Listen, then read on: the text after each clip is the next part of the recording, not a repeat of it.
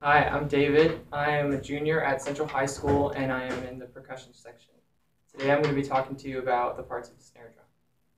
What we have here, this is the batter head, the side of the head that you hit your stick with. Then we have here the rim, which you can make all kinds of cool sound effects and stick shots, rim shots, all kinds of stuff. Then we have these little things called tension rods and what hold the tension rods are these lug casings right here. We also have this, the wood part of the snare drum that's called the shell. Now we have right here the snare strainer, which is what turns the snares on and off of a snare drum. We have on the bottom here the snares, which make the snare sound, and then the snare head, which the snares make contact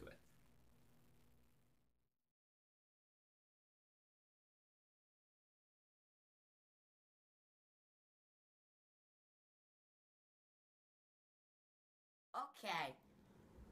So anyway, let's let's let's cover this part of the stick. So the top part of the drumstick where you actually hit the pad as you saw I was doing is called the bead. You can say it to yourself, you know, keep it in your head. Yeah, bead. Bead. Okay. So let's move down to this part, kind of the part where it's skinny and it gets fatter all the way down to here. This part right here, it's called the shaft. No, it's called the shoulder. But, but, but, but. Yeah. Oh. Well. Red card! Okay.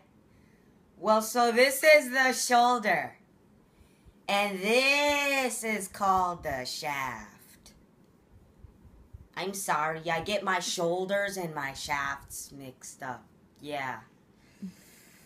And this part of the drumstick, the bottom part, is called the butt. It is actually called the butt. Don't laugh. It's not funny, okay? If you're under 13 and watching this, hi. so that covers all the parts of the stick.